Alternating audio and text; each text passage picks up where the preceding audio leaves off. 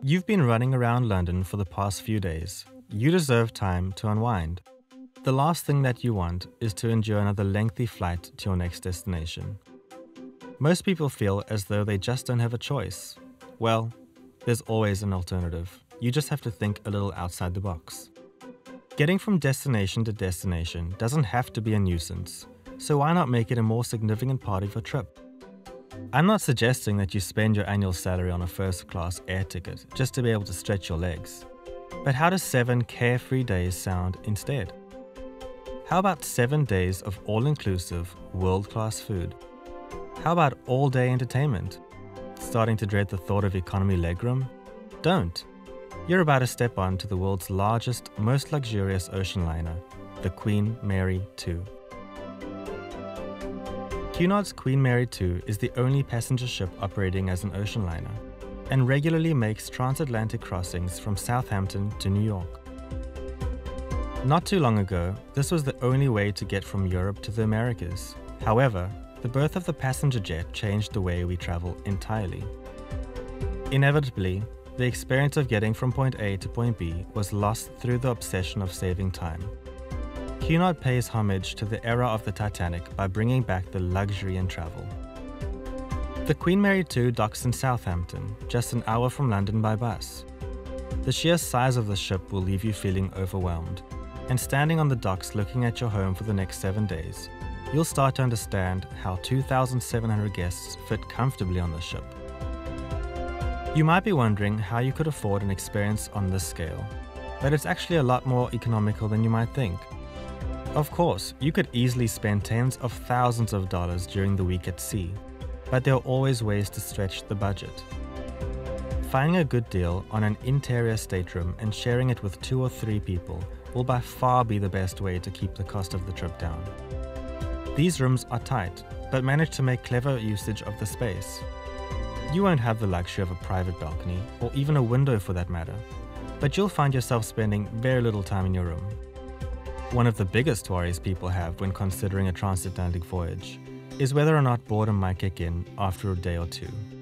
When it comes to Queen Mary 2, the answer is simple no.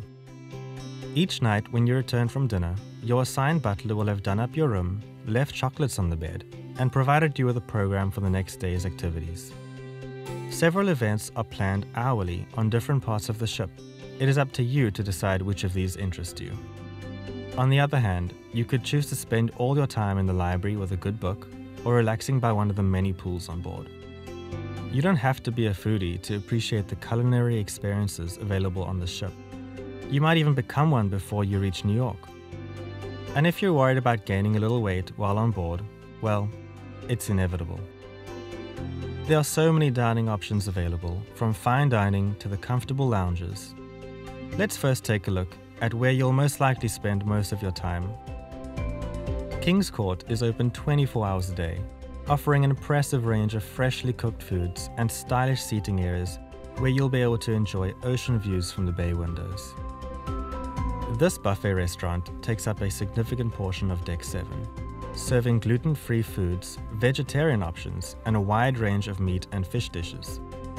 You'll also be able to enjoy a selection of juices, teas, and coffee at one of the beverage stations. If you wish to be served instead, you can always head over to the Britannia restaurant for breakfast, lunch, and dinner. You'll just need to take note of the dress code each night. On occasion, gala evenings require guests to dress formally.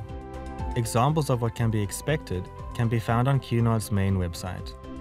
Don't stress if you aren't into dressing up though, King's Court does not have a dress code. When it comes to bars and lounges on the Queen Mary 2, you can rack up a hefty drinks bill if you're not careful, as alcoholic drinks are not included during your time at sea. You may also just want to sit back and relax while enjoying a good book. You are not obliged to order anything. There are drinks packages you can purchase as well, but these are generally not worth the extra cash. Speaking of cash on board, there isn't any, during check in, you'll be given a personalized access card that you'll be able to link to your credit card. Not only will this card act as a method of payment, it will also be used to access your room and enter onboard activities such as bingo.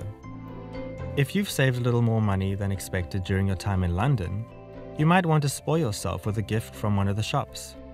Fancy a perfume? What about a stylish watch? You could even fit in some clothes shopping if you didn't quite find what you were looking for in London.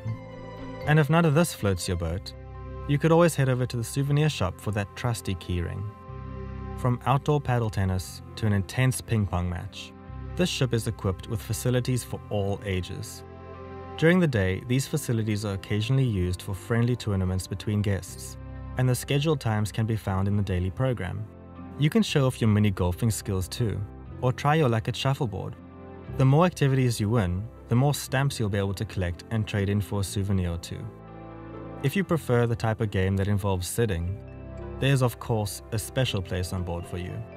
There are two light and airy corridors on deck 2 that offer a range of board games, as well as a place to sit by the window and enjoy the waves from up close. You can even help build a puzzle if you're feeling up to it. Fancy a dip in the pool? You might just find it hard to choose which one. There are several indoor and outdoor pools and hot tubs on board.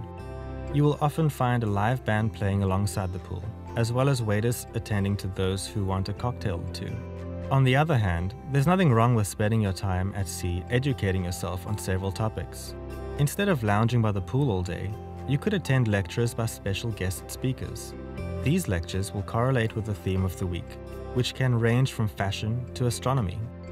There is also an impressive movie theatre on the Queen Mary 2, which doubles as the world's first planetarium at sea. This theatre is used as a lecture venue, a movie house, and a place to immerse yourself in the stars. The Royal Court Theatre is a separate theatre used for live performances, most of which occur before and after dinner. A variety of acts ensure that there is something for everyone. You will find everything from classical piano performances to dance acts, stand up comedy to full band performances, all of which are world class acts. And if you enjoy this type of art, you'll most certainly appreciate the fine art displayed in the gallery. All the paintings and sculptures on show are for sale and can be shipped to your home address.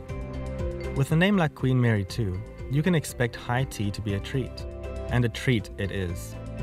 Hosted in the Queen's Room every afternoon, you'll once again find yourself spoiled for choice. Decadent chocolates, pastries, sandwiches, and a variety of teas will certainly keep you going until dinner. The Queen's Room is also used as a ballroom from time to time, and is host of the Guests Talent Show,